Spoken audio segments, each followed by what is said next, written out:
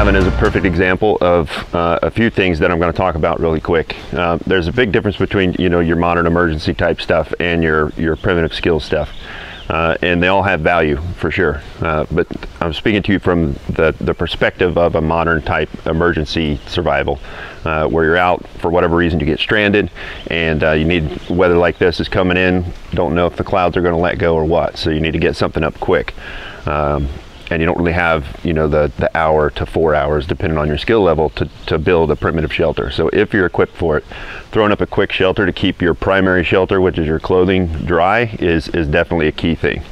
Um, so with that you should be able to put up one of these shelters if it's if it's imminent weather coming in. You should be able to put it up in just a few minutes. Uh, so there's different definitely things you can do to set yourself up to be able to do that when you do your kit. Uh, and we'll talk about you know a basic emergency kit on another day uh, probably uh, tomorrow morning. We'll go into that before we get into the fires. But um, I want to get into this with you today because today's kind of shelter day. So um, how many people are familiar with the uh, Pathfinder system with the five minute shelter?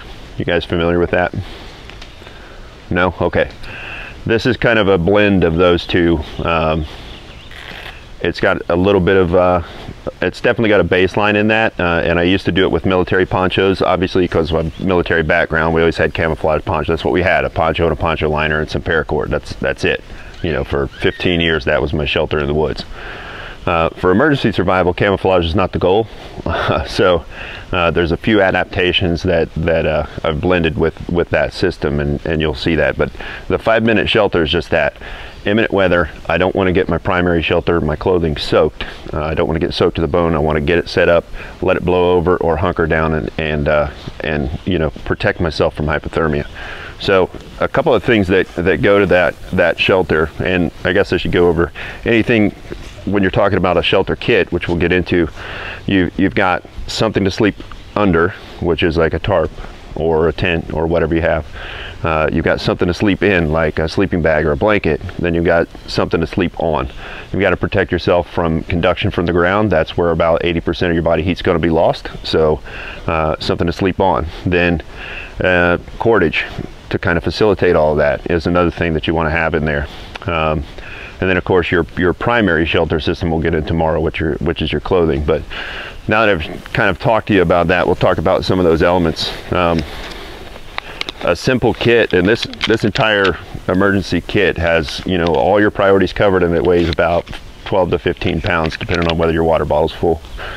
Um, so we've got to cover all those elements. Cordage uh, I've got some ABS tent stakes just because they facilitate the speed of putting this up and they don't weigh enough for me to worry about. And if you're trying to get a shelter up in just a few minutes because weather's coming in, you don't want to take the time to, to start messing with stakes. So if you're setting up a kit, don't plan to improvise. You know, plan to be prepared and then improvise when you're not prepared, if that makes sense. So uh, just a simple emergency tarp. This is a, a, reflective space blanket and it ties into this entire system. Um, then your your cordage of course. I've got a couple different types. I've got bank line and I've got uh, some survivor cord. The survivor cord if you guys aren't familiar with that it's from Titan. It has uh, monofilament fishing line inside as one of the strands. It also has some uh, brass wire like a utility wire. And it also has some wax jute uh, fire starter.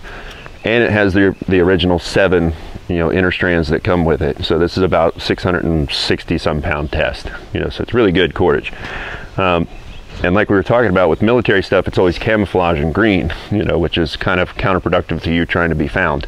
So uh, this is the orange version. Everything I can get that's orange, I'm going to put in my emergency kit because that's just going to help me be seen, you know, from above or seen by search and rescue on the ground.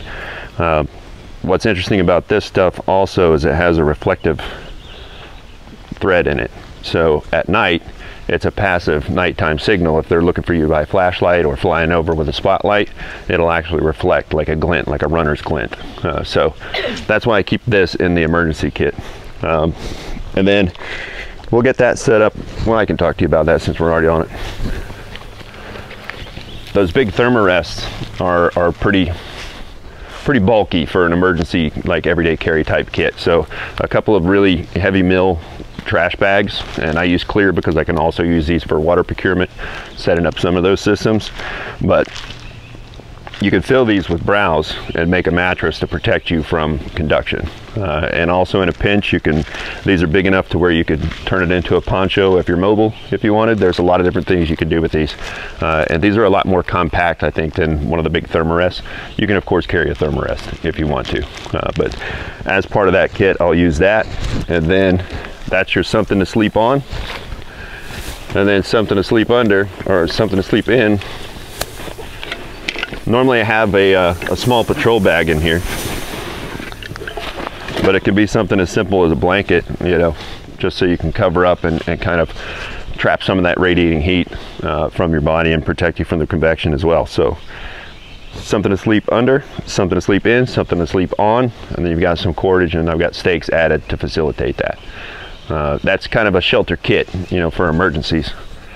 And as far as configurations for for this honestly it depends on the weather. So there's basically four different configurations in this system. So uh, depending on the weather depending on your environment. If uh, kind of the three the three season I guess I would say fair weather where you're not expecting it to actually downpour but you need some protection or if you're in the desert and it's hot and you just need some protection from the sun I would go with a lean-to type configuration. Um, if you're trying to trap radiating body heat and retain that as your primary source of heat to prevent hypothermia, lean-to is not the way to go uh, because it's too open. It's open on, on three sides. It's, it's not the way to go. It's a good shade. It's good for a quick flash where it doesn't matter as much if you get wet. Um, so that's kind of that first configuration. And then if it's wintertime, I'll go straight to a plow point shelter, uh, the diamond plow point shelter, and I'll show you all these. Um, but I'm trying to tell you kind of how what I consider when I'm starting this, which way I'm going to put it up. Um, and this is also designed so you can go from one to the other really quickly. Uh, so for the diamond plow point, it allows me to have protection on three sides and it creates a smaller microclimate so I can trap that body heat uh, and, and stave off that hypothermia. Um, so that's kind of my winter weather thing and it's also good for if you know it's going to start downpouring it'll keep you drier because you're protected on three sides. Um, then the A-frame system is kind of like the three season but I, I know it's going to get wet. You know I don't want to kind of trap all that heat because it's too warm for whatever reason but I also don't want to get wet you know because then we start bringing in conduction and, and evaporation and all that. So uh, those are the three this system also in extreme cold weather. You guys familiar with Morris Kochanski's Super Shelter? Yeah, this same exact system, this same exact setup that I'm about to show you, if you add in those type of environments, like normally I'm up in the Northeast, uh, in the wintertime I would have, you know, a, a 9 by 12 sheet of plastic in there so I can create a super shelter, just adding that to this kit not really cold enough down here for that. Uh, so I don't have it in this particular kit. But if you're in one of those areas and it can get that cold, the Mors Kochanski Super Shelter is a good way uh, to uh, adapt this to that environment. Um, is anybody not familiar with that super shelter system? You've built one with me in my class. Okay, yeah. That one. That one.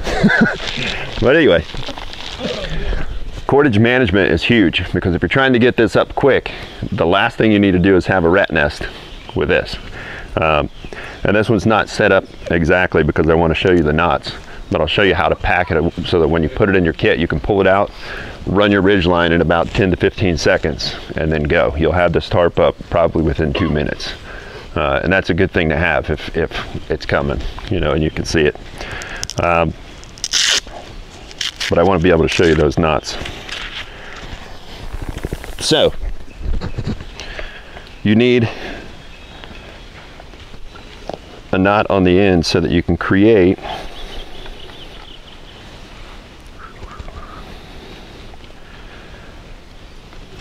Let me get this out. If you can get this out without tangling it, you're going to be golden. The key is to take your time and don't let the ends cross. That's probably enough. And then all of my extra, rather than let it get tangled, I can use this to keep it kind of in a ball.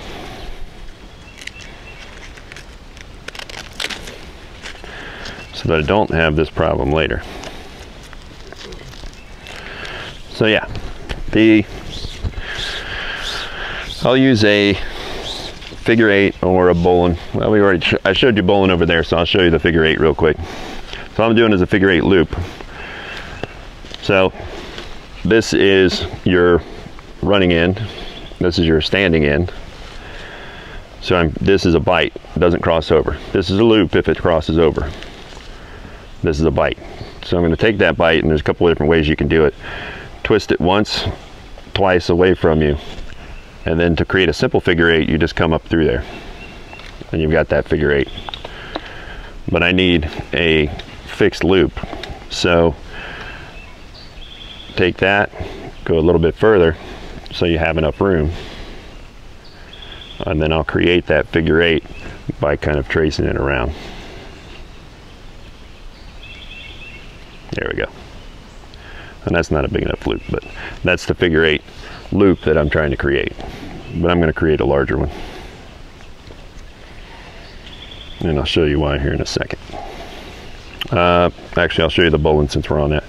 That's the figure eight for a bowline. And I'll go over these with you guys later if you don't know how to tie it. For a bowline, you're just creating a loop and your running ends on the bottom side. That's your first part. Then from the working end, or the standing end, I'm going to poke a, a bite up through that loop. Now, as I'm looking at it, I've got my, my clean side, which doesn't cross it, and then I've got my dirty side, which has a knot, or start of a knot. So, clean side right, dirty side left. This is coming from basically your chest outwards. So I get to that, go in, then I can drop that part pull through how much tail I need. Usually about, you know, to put a security knot on this, I'm going to need about six inches. Fold that over on itself. And now I'm holding there. Grab that bottom, and then all you've got to do is pull it. And you've got a bowline with a nice big loop. Everybody see that? And then from there, I'll wrap it all the way around one of the portions of the loop and then come back through. And that's an overhand security knot. And that keeps my bowline nice and tight and it's just a security knot to keep that from coming out. Uh, so anytime I tie a knot, I usually put some kind of security knot on. It's just a habit. Um, then I've got a, a, hole big enough to get my fist through, and that comes into play when I'm trying to set this ridge line up. As soon as I get where I'm going, I can wrap this around the tree now and create an anchor, and then I can pull this through.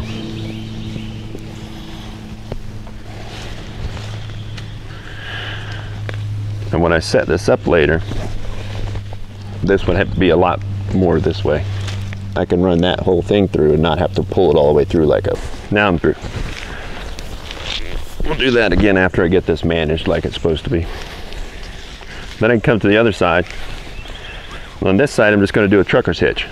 Now, as far as height goes, if, if your goal is to trap body heat and that's your primary source of heating that actual microclimate you're creating, higher is not better. Um, I like to do lower, about you know waist high or lower, so that I can trap that heat a little bit closer. Plus, it keeps the you know the blowing blowing winds and and everything else. So I'm going to bring this a little lower, probably about waist high. Run my ridge line.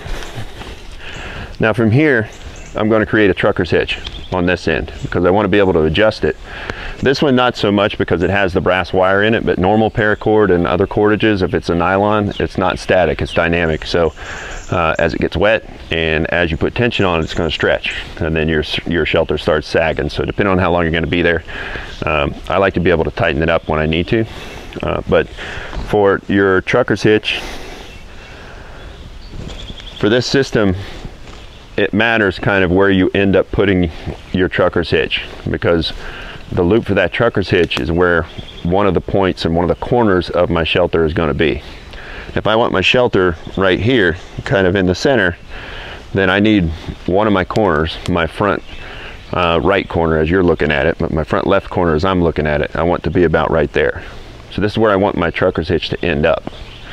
I don't have to tie it back here. But for the trucker's hitch, overhand loop like we talked about when we're doing the, uh, the marlin spike hitch, then I can go around my anchor point, around my anchor point on this side and get it about the height I want it. Go about waist high here. I'm gonna try to tie this backwards on you. Now there there is a trick if you're using normal paracord to where you can run it through twice and it'll bind on itself. With this uh, actual survivor cord, because it has that wire in there, it doesn't work as well. So I'll give it a shot, but it may not work. Um, but now I've came around my anchor point, I can go back through that loop.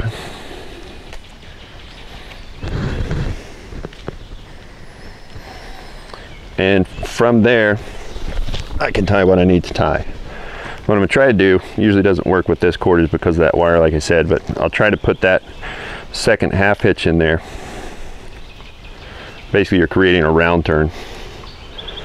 And then when you tighten it, this will actually bind on itself and give you some time, but sometimes it doesn't work because this is a little stiffer. So yeah, now that holds the tension for me. I want this pretty tight. This is, uh, there, see how that popped loose? I'll try to get it tighter than that. Yeah, see you're popping loose. But anyway, from there, I'll just do a half hitch Still keeping with the rope management.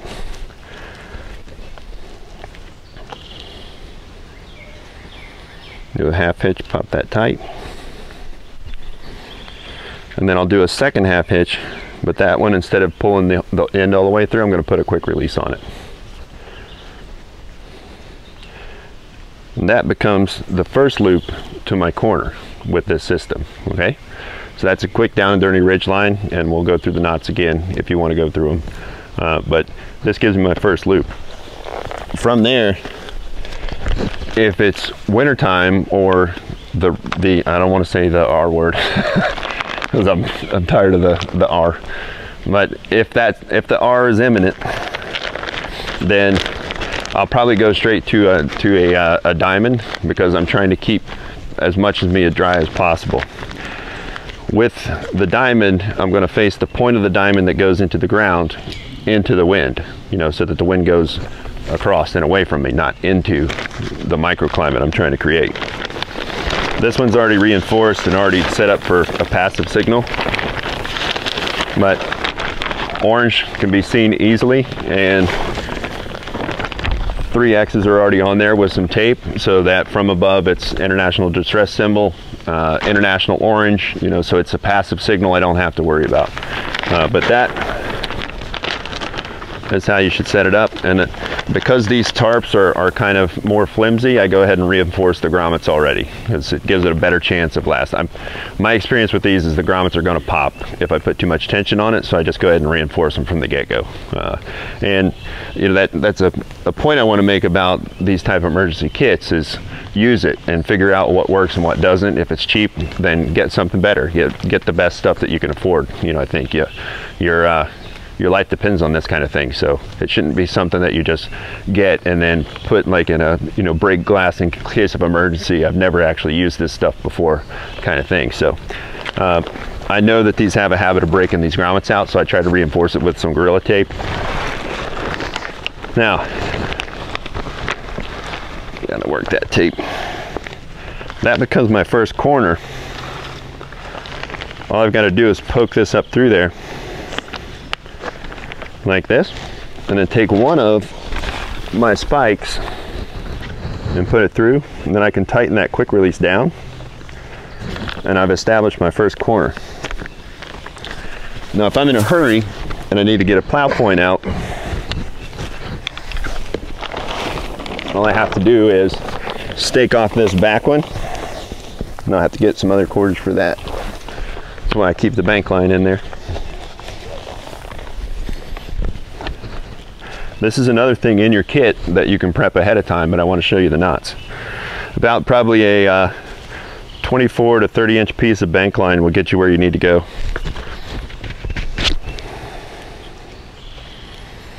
And you can pre-cut these when you practice setting this up. You can pre-cut these and have the knots already on your stake, and then it's that much quicker. Um, bank line's kind of hard to see, so I'll come up there and show you guys here real quick. But basically what I'm creating is uh, you can do simple overhand to create that knot.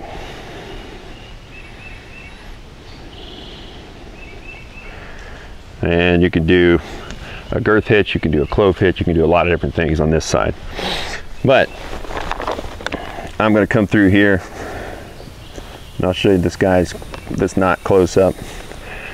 Create a girth hitch, run it through, pull it about tight, find out what my wind direction is,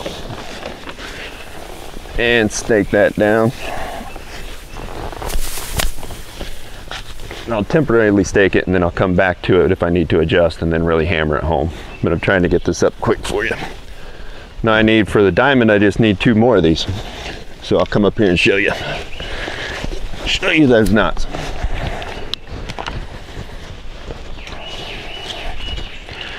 About 30 inch piece is all you need.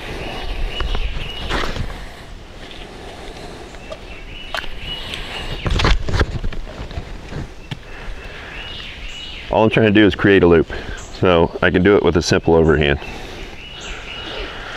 Make a bite, and then on the ends, just an overhand. Now I've got my loop. From there, when I get to the actual stake, you can do a number of things. But I'll girth hitch this through. All a girth hitch is, it's also called a lark's head, same thing. Uh, so whichever way you learned it. You've got a loop that passes through there and that's a girth hitch or a lark's head same thing or the beginnings of a, a prusik you know which is another knot so anyway that's what i'm doing on that you can also run that through girth hitch it to your grommet and wrap it around your stake and put it in that way if you want. A lot of different things. You guys have set up tents. You know how to do it. Anyway that's what i'm doing over here. So let me put these other two points out.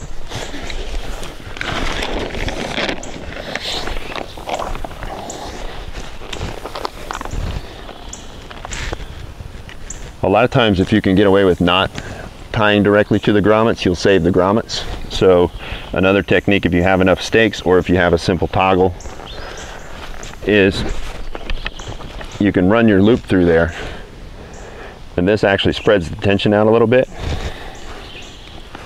to protect your grommets.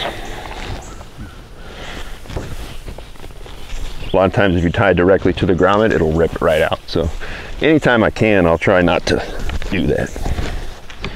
That's a temporary stake. I'll come back if it ends up the way I want it.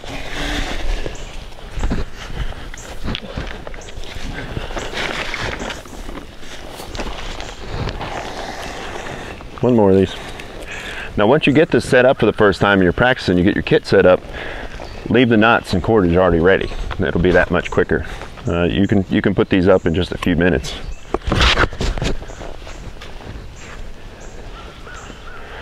Because when the when the R is coming down on you. Is not when you want to be practicing your knots. Because that, that scenario where the R is coming down. How much attention do you pay to your your terrain or the slope of?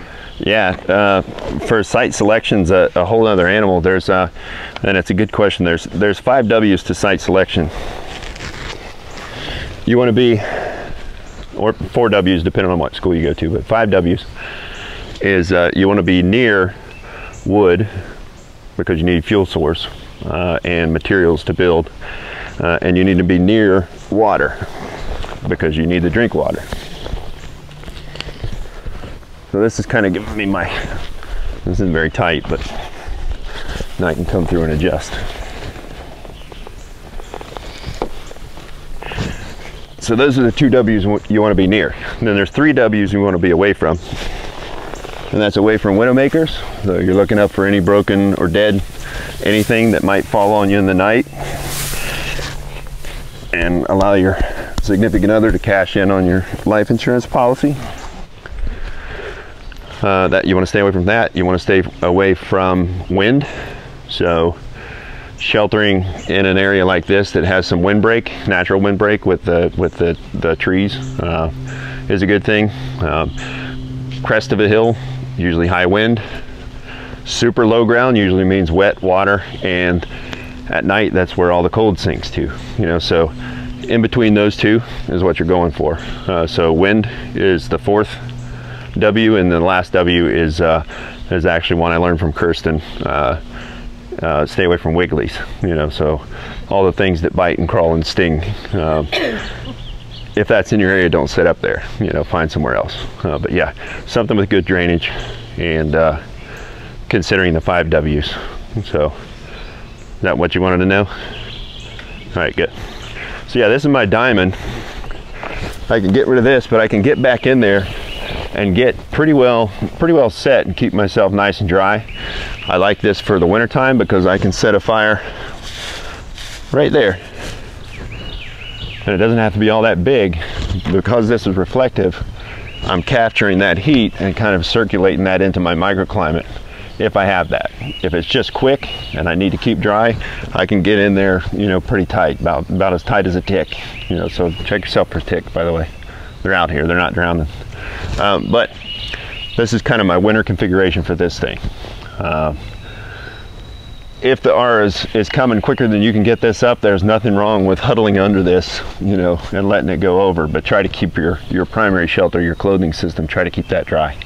Um, if uh, you're eventually going to want to upgrade that, you know, you know, you don't want to sit huddled under there the whole time. But the the key thing is do what you have to with the with the situation you're dealt. Um, you can get these up pretty quick if you get ahead of it. If it just comes and you weren't ready, just get it out and get under it and protect yourself. Uh, so yeah. Go in head first or feet first? I go feet first, but it, it really doesn't matter. Um, if I'm going to have a fire, I'm going to want my head up that way. Uh, and it's kind of stuffy when you really get back in there. Uh, and I'm kind of tall, so I think I would stick out if I was trying to be comfortable in here. But that's the first configuration, and it's the quickest. Just throw it up, stake it out, and go. Uh, and then obviously you'll want to, high winds especially, you want to stake these down. And I've got a passive signal going, so that's that's kind of two birds that way. Now from here, if it's better weather, or if I want to just change the configuration of this a little bit, it's a pretty simple fix for me to go from this to a lean-to. Um, really simple fix. So all I've got to do is kind of reconfigure the tarp on the same ridge line, right? So um, what I'll do is kind of leave those. I can switch these out if my stakes will allow. And you can go straight to this if you want. You know, depends on on your situation. But I want my lean-to to be a different way. But it's a simple fix. Back up through the grommet. Put my stake in there. Tighten that down. Then, got one more knot to show you. All right. We talked about the Prusik earlier basically being a double or triple girth hitch. So for this one, 30 inches still, ish, doesn't have to be exact.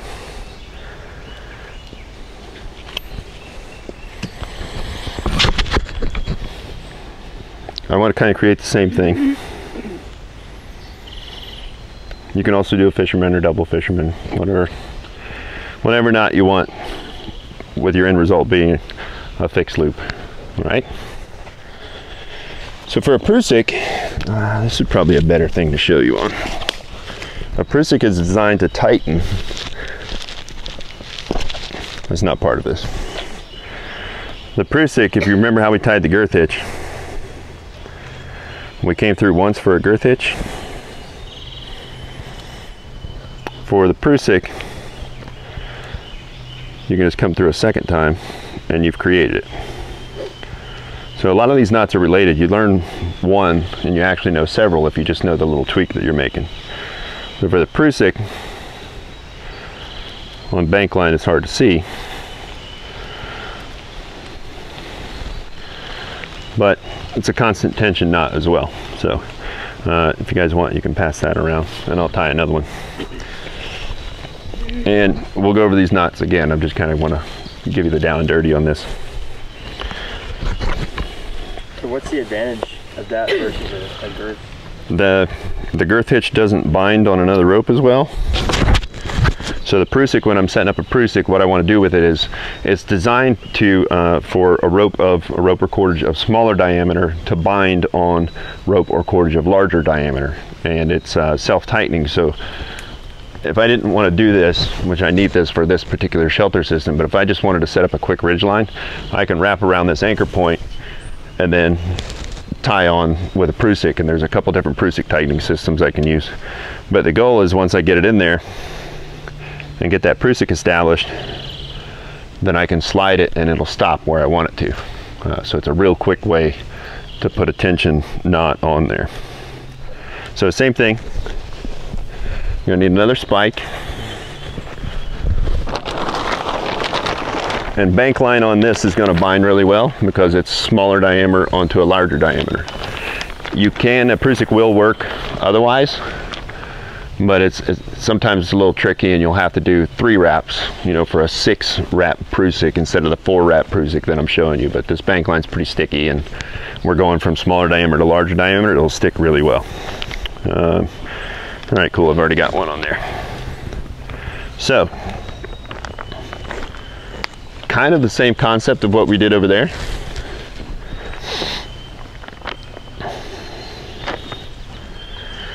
I'm going to create my Prusik. Actually, I want it to end up over here to show you. One, two. The more wraps you put on your Prusik, the more grip it's going to have for you. So if your ridge line is already wet for some reason, just throw a couple extra wraps in there. All right, I'm a stickler on knots. I've got my Prusik on there.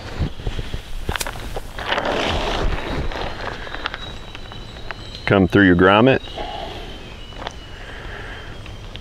Let's go from bottom to top.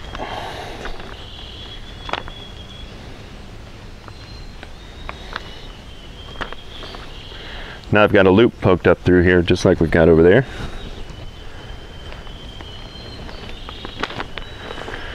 And then I can slide that Prusik along my ridge line and let her go. And I can tighten that as I need to.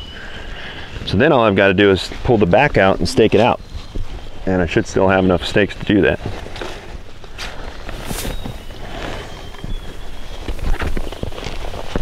That's one drawback to the low shelters is when you're tall. So now the same thing I was doing for the stakeout to begin with is just putting my girth hitch through and tying it off to the stake, pulling it tight, and then I've got a really quick down and dirty lean-to. And I still have my passive signal.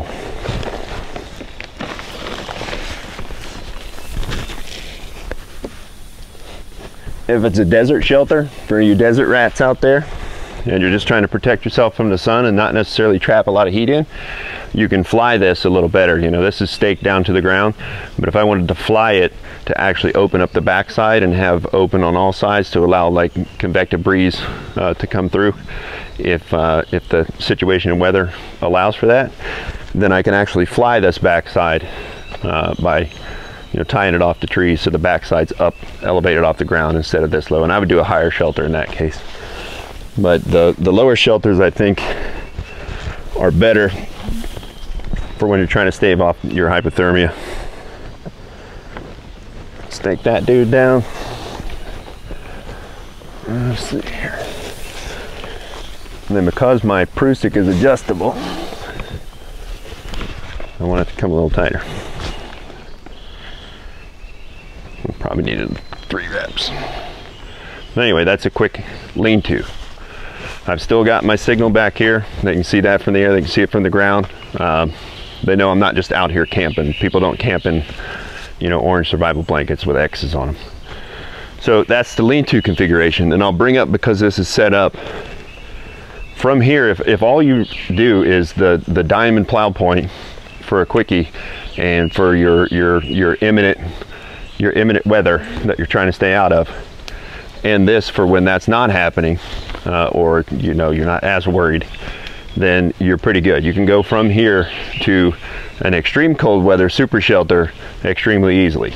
Uh, adding that that uh, 9 by 12 sheet of plastic, clear plastic, that just gets incorporated where you wrap it around this, drape it over the front, and then you create a greenhouse that you're actually living in. They work really, really well. Uh, so if you haven't seen that, uh, you want to check that out. But it's an easy adaptation. If you can set this up, you can set up a super shelter, you know. Um, those are the main configurations. The one thing that I'll add, what is it, sir? If, if you're going with the plow, you wouldn't necessarily have to set up the ridge line, would you? Just go straight to You, there's a lot of ways to do it, but for this system to keep it simple, it's the ridge line's the same for three tarp, four tarp configurations, uh, and setting the ridge line up the way I just showed you, so that you could get that loop on the end to stick a toggle through and pull tight.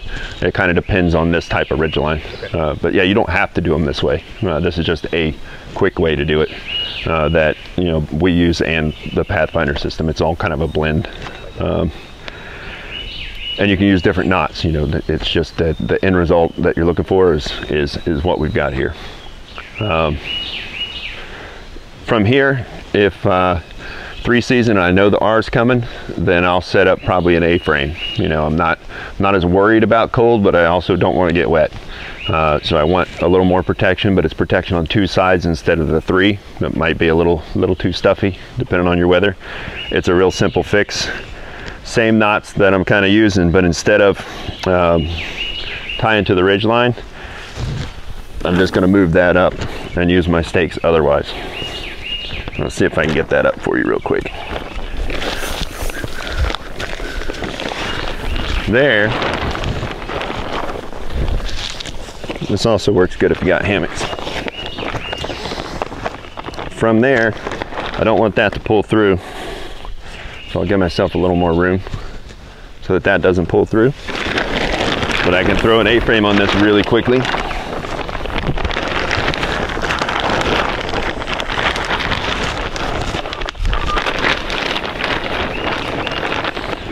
About center line. And then all I've got to do is stake out my four corners.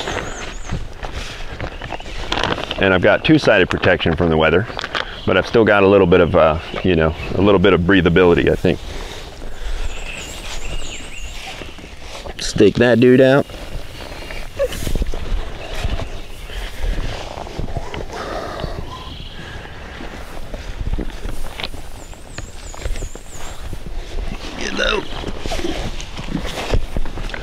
I'll need another piece for that.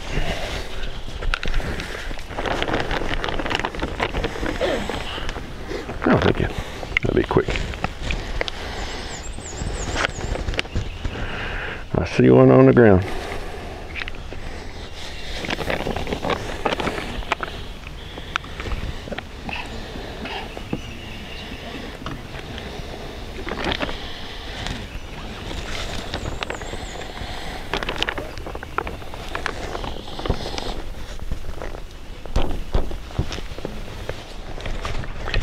And you'll probably have to go back around and tighten everything up but you can get a pretty nice little we called these uh, poncho hooches in the military.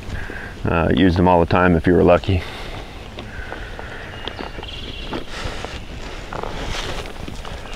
But real simple to set up an a-frame and get inside there and have two-sided protection but I can set it up either you know into the breeze, out of the breeze, whatever your, your situation is. But that's a fourth configuration for that same system.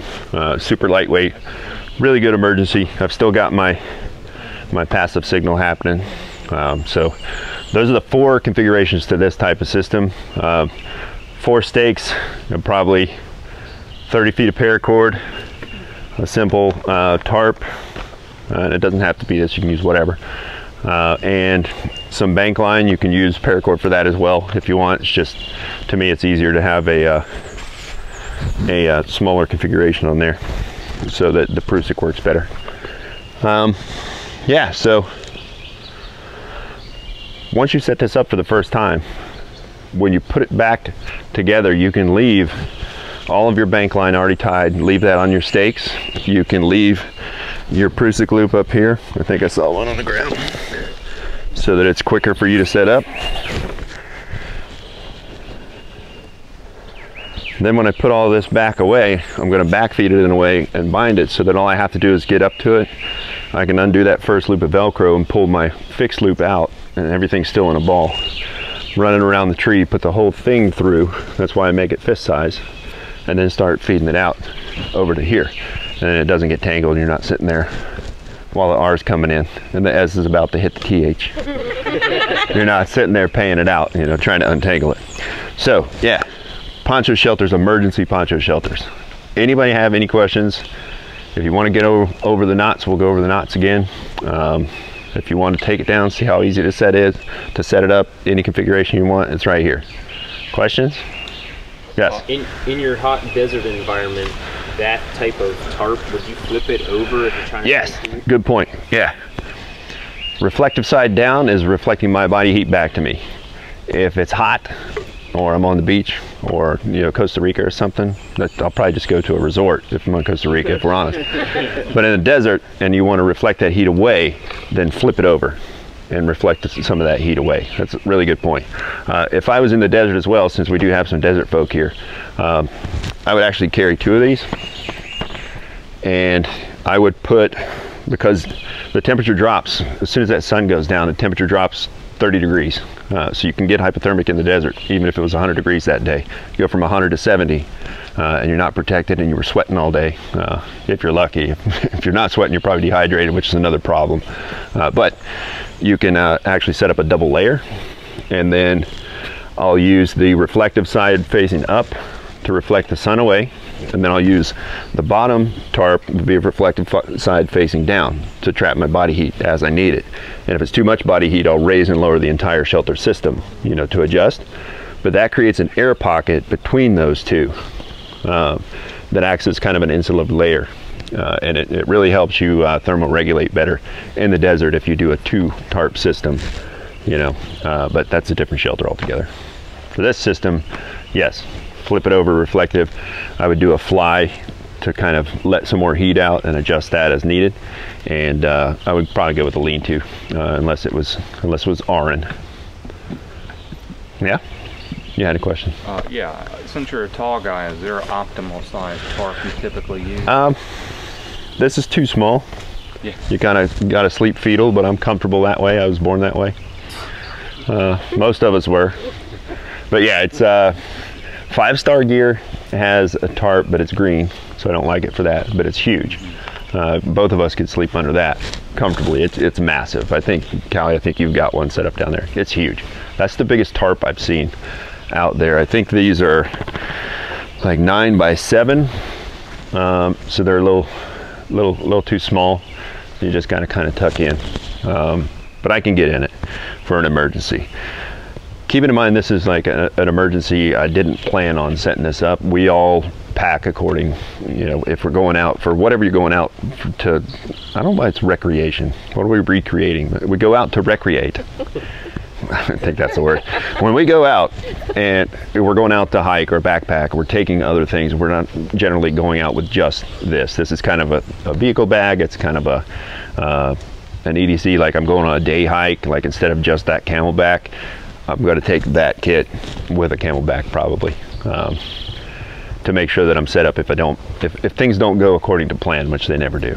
Uh, so that's kind of what this is. But I would use, generally speaking, when I'm out, I've never been out without whatever I was planning on sleeping in that night. It's like going straight to, to primitive trapping. Like, what were you going to eat if you weren't in a survival situation? What do you, how'd you get out there without food? You know, depends. Stranded vehicle, yes. Weather, yes. But yeah. Uh, so optimal size for us, probably an 8 by 8 is good. And I've got an oilcloth 8 by 8 that I usually pack.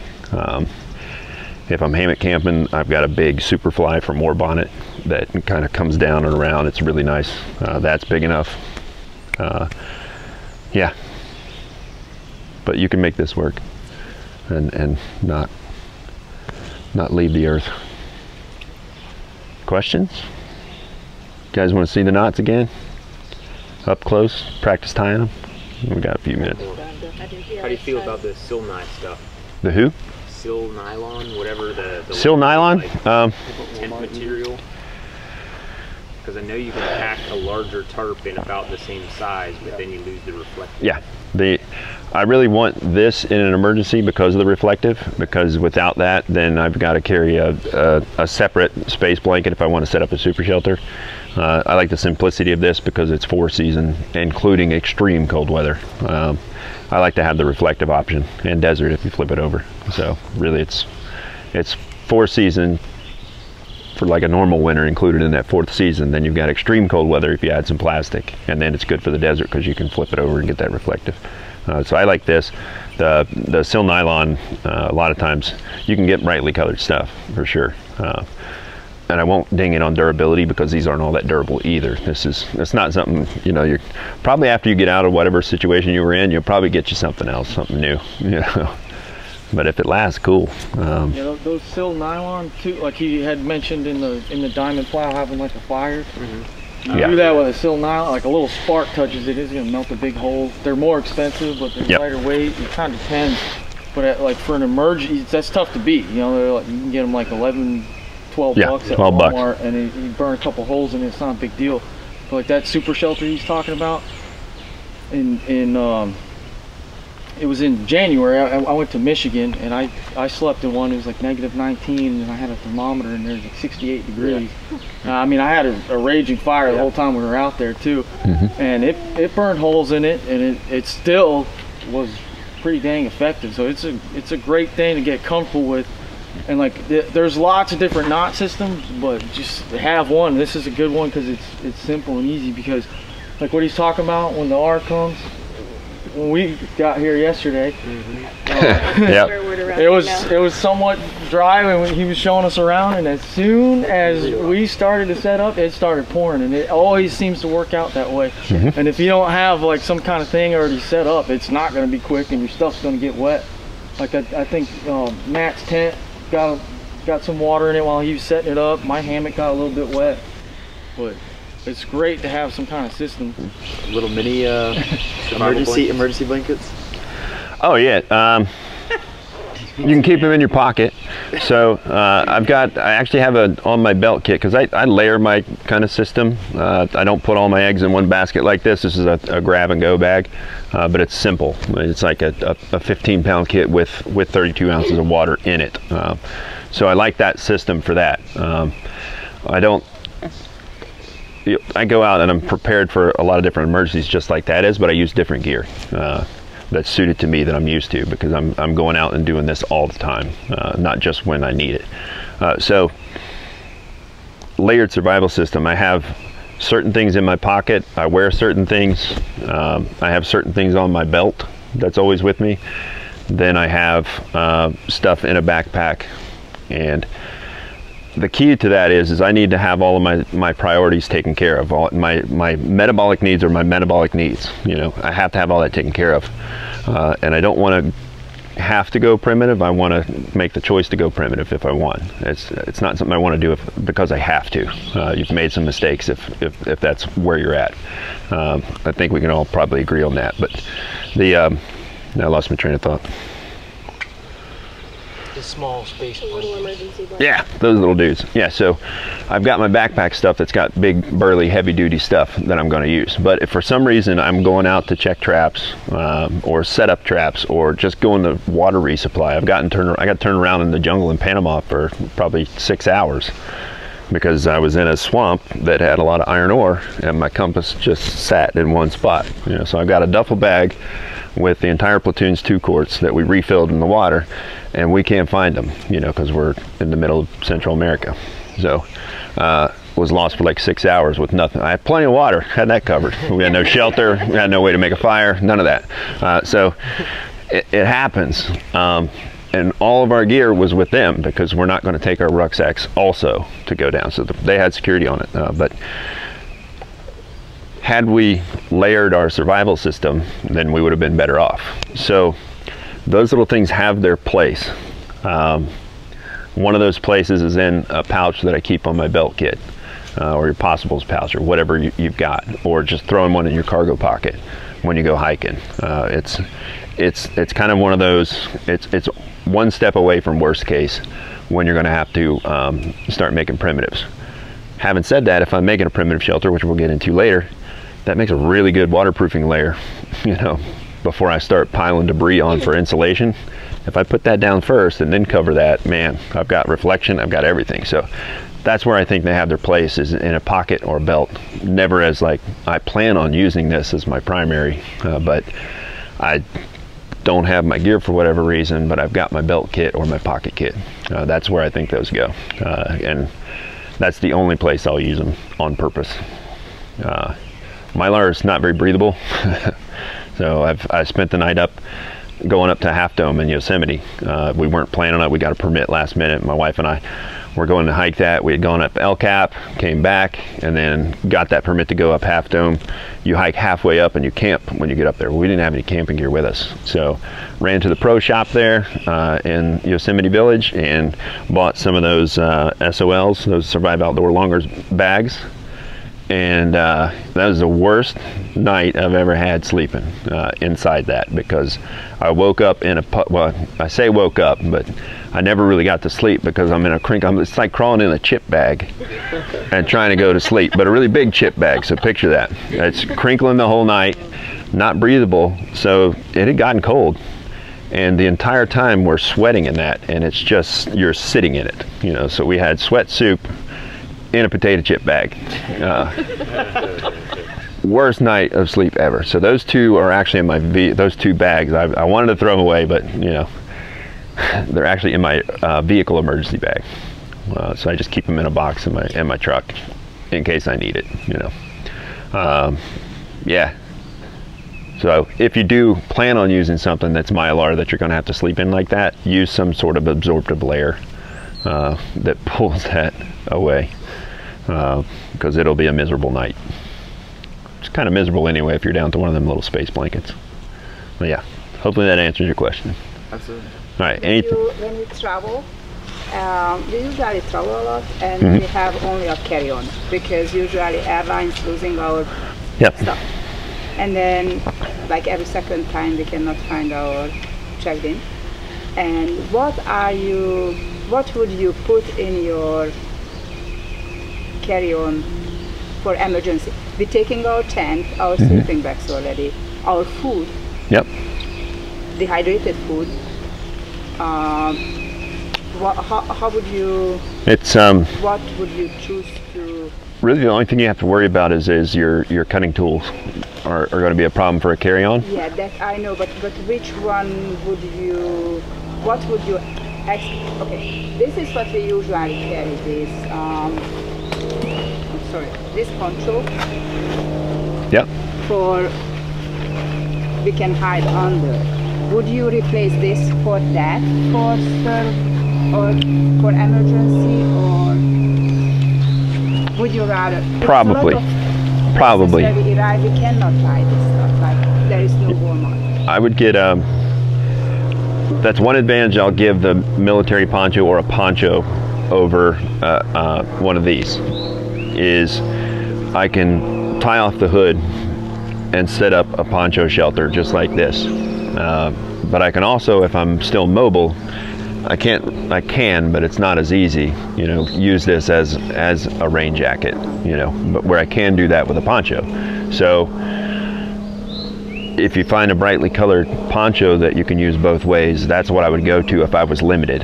Uh, if I'm not limited, like I, I, would carry this and I would still carry a rain jacket. You can get little stash jackets that weigh like six ounces, you know. Oh, we do have the little rain jackets. I just, we kayak a lot and then this is yep. Yeah. I'll, I'll if you're still mobile. One that's like a civilian version of what he's talking about. I, I had it around yesterday. It's like a lime green one. Okay. They call them tarp ponchos. Mm-hmm. You get them at like REI. And you can wear it and it's got like little snaps, but it's got like tie outs and stuff, and you just like cinch the hook yep. closed, so it's completely waterproof. That might be. A poncho is definitely more versatile because you can make a shelter out of it and use it to keep the rain off of you if you're mobile. Uh, so, if I had to choose one, I would choose a poncho uh, over a rain jacket. Always have to choose. So limited. Like yeah. Yeah. I would I would choose a poncho because it's more versatile, for sure. Any other questions? Since you're packing this for emergency purposes, depending on where you're going, I'm assuming in a forest you don't bother to take toggles with you to save time, but Um, in general, do you pack a few little toggles with you or no? I'm using my stakes as toggles. Okay, so you pack Um, enough stakes for backup Yeah, and for me, for me, when I'm going out and like not showing you a basic setup, I, I, I'll usually take the time to carve toggles. They don't have to be pretty. I could, Yeah, right, right. Here's a toggle. You know, there's toggles everywhere. Right. Uh, so yeah, I wouldn't pack what I can source from the forest quickly, uh, as long as I've got an emergency thing taken care of. But I can set up a regular tarp, you know, Yeah. pretty quick. But it's because we do it all the time. So yeah, but I wouldn't, I wouldn't purposely pack something I can get out in the woods quickly. Um, but like stakes, they take a little more time to carve up, and they got to be a little more durable. So those um, those are worth carrying, I think, for the weight. Uh, but of course, you don't have to. You can make those quickly. It's you know sharp point, pommel end, and a and a stake notch. You know, they're pretty quick if you got that time. But if you're trying to beat the R, I don't want to mess with that. Um, Mark had a good point about advantage, advantage reflective tarp over the sil nylon that he was going to talk about. Yeah, it's, uh, it's, it's very useful as a hypothermia wrap patient. You can, you can really jack somebody's core temperature up using this, as you can't with the Silon. It's kind of confusing because I actually carry both. Uh, I love the, the weight savings of the Silon, but when it comes to the durability, if you will, of one of these, this is to be. Another good advantage for the pocket blankets, hypothermia prevention, uh, rain catch.